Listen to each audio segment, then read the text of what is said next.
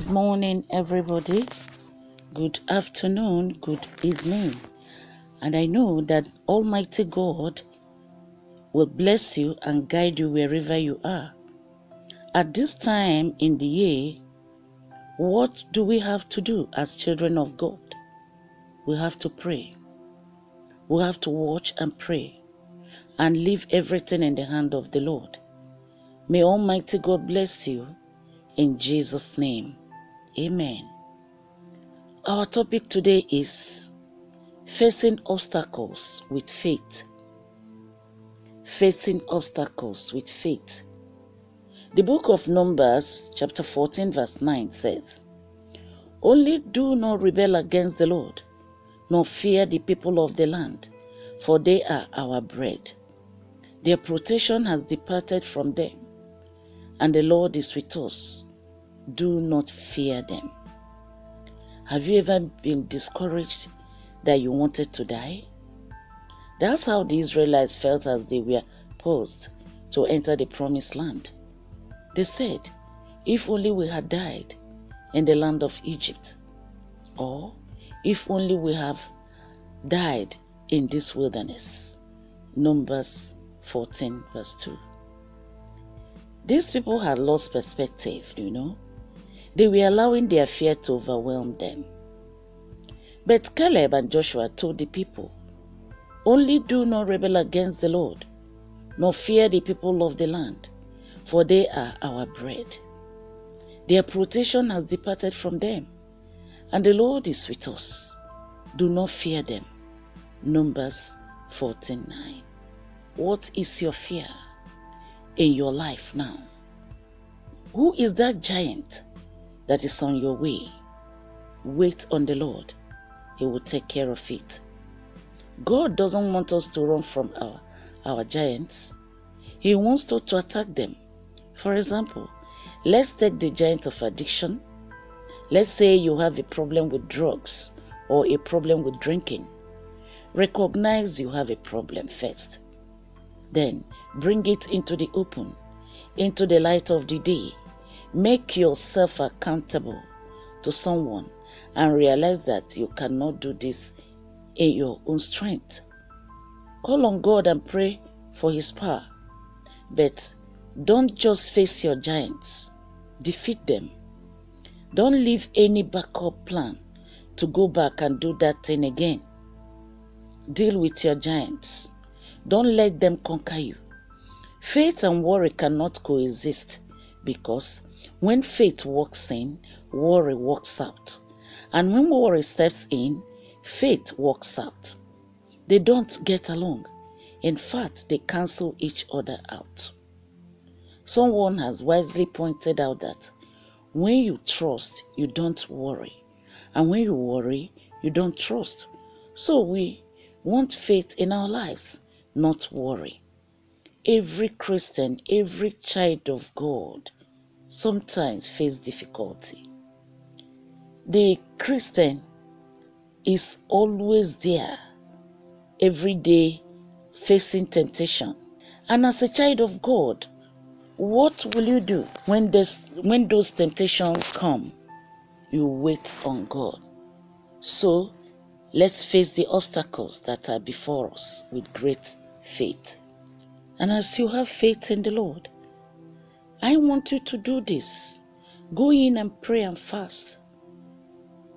Because everything that God cannot do does not exist.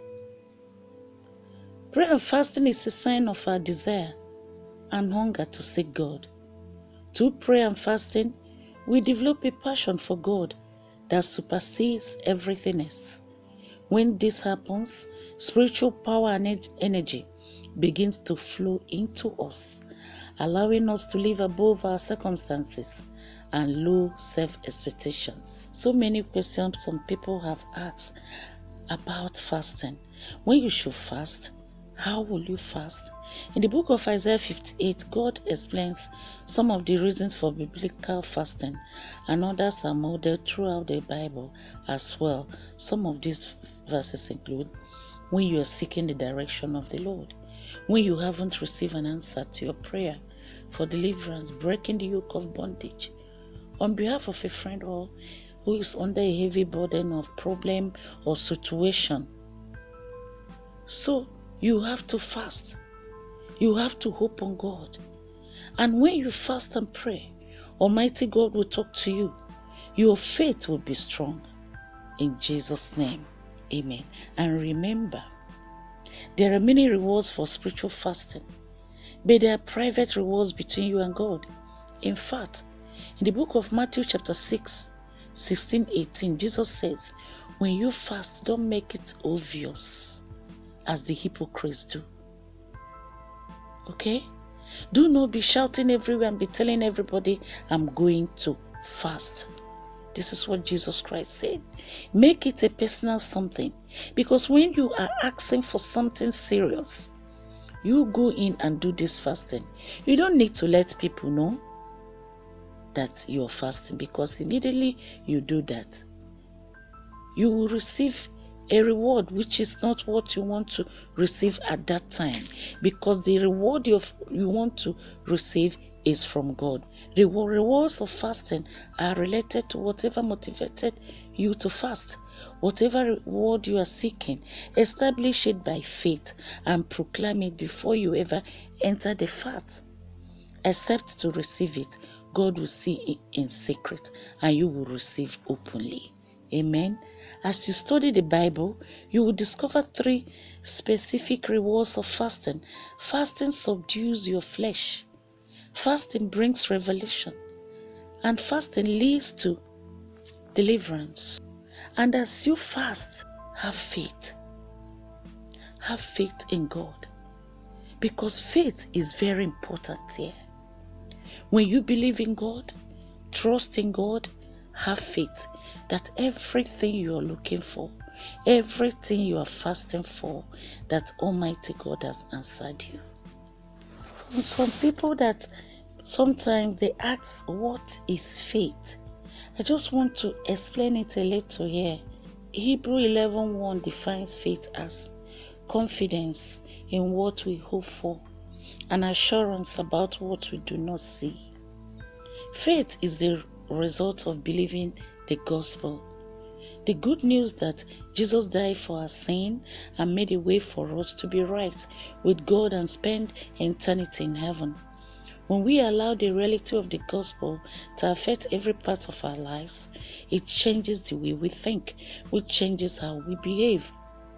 Faith causes us to act on what we haven't experienced yet, to believe promises in the Bible that haven't been fulfilled yet, and to trust God when our situations haven't changed yet.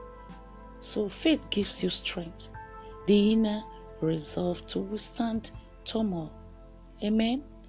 There are so many things when you have faith in God, like when you are praying, when you have faith, because God looks only on your faith in your prayer. It's not any other thing. God looks on your faith and He will use your faith to work for you. And I will stop here now. And I pray that Almighty God will see you through in everything you touch, in everything you do. Even if you lost something, God will help you. You will get greater things in your life. Your family will do good. Your children will be okay and Almighty God will continue to bless you. Do not weep, do not cry. Believe in the Lord. If that thing is so strong, enter into fasting. You can fast for three days. Almighty God will see you through. In Jesus' name, amen.